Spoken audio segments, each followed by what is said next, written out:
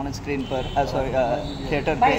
हाँ। और आपकी चहेता हेमा मालिनी जी भी आई देख- पहली बार पहली बार सनी पाजी की मूवी देखने के लिए। शुक्रगुजार हूँ शनि जी सनी जी की और जिन्होंने गदर फ़िल्म बनाई कि हेमा जी को इनवाइट किया। इसलिए मुझे बहुत अच्छा लगा ईशा को बुलाया इसलिए बहुत अच्छा लगा। मैं निकला और गद्दी लेके मैं निकला और गड्डी लेके। और सड़क पे एक मोड़ आया उते दिल छोड़ आया। राखी जी हेमा मालिनी जी भी आई थी। अरे अरे रुक ना। मैं उत्ते दिल छोड़ आया। हेमा मालिनी जी भी आई थी आज।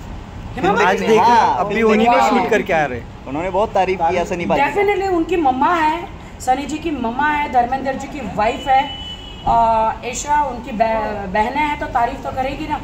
बट जैसा जैसे मुझे ये कहना था कि जैसे फ़िल्म में उन्होंने फ़िल्म देखने के लिए बुलाया तो शादी में बुला लेते तो ज़्यादा बेहतर होता। आशीर्वाद देने के लिए वो आपकी माँ है।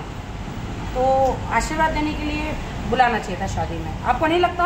हाँ लगता है। पूरा देश की नज़रें थी कि अभी हेमा जी अपने खूबसूरत ड्रीम कलर अपने खूबसूरत शादी मतलब साड़ियाँ अच्छी पहन कर आएगी करके। अभी एलविस के बारे में क्या कहना चाहेंगे? वो विनर रहे Bigg Boss O T T two के। तो इसमें क्या लगता है? कुछ लोग कह रहे हैं वो विनर नहीं बनने वाले थे।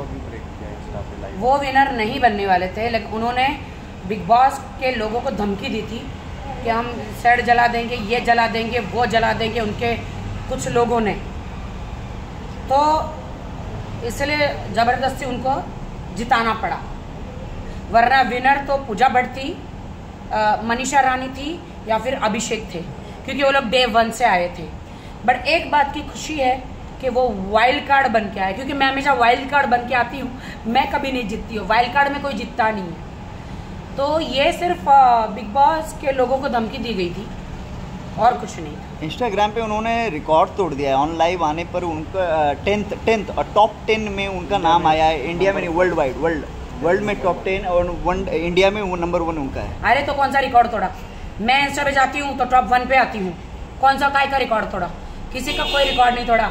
कैसा लग रहा है? अलवेश यादव, हमें रोस्ट करते हो ना?